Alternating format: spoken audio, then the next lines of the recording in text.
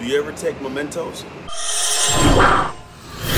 This idea came from the fact that one, I'm eating Mentos, but then on my way back from my, my speech, I found this uh, this thing they gave me as a memento of my speech from uh, North Carolina that I did today.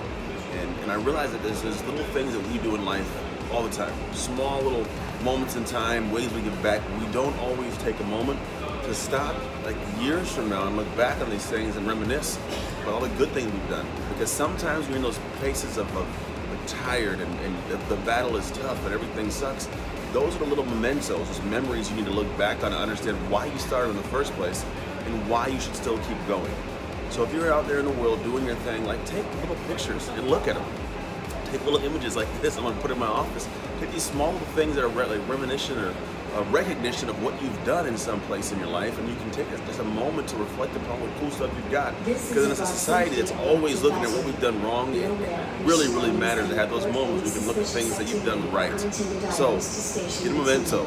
Take time to look at the mementos and continue to keep pushing past those hard spots.